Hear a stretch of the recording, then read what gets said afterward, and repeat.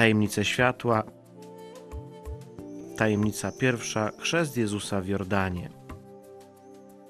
A gdy Jezus został ochrzczony, natychmiast wyszedł z wody, a oto otworzyły mu się niebiosa i ujrzał Ducha Bożego stępującego jak gołębice i przychodzącego na niego. A głos z nieba mówił: Ten jest mój syn umiłowany, w którym mam upodobanie.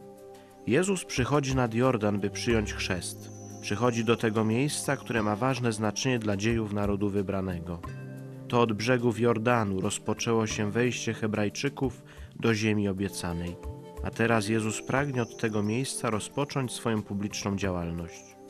Jezus wie, jaka jest Jego misja pośród ludu, a poprzez chrzest teraz manifestuje swoją obecność pośród tego ludu.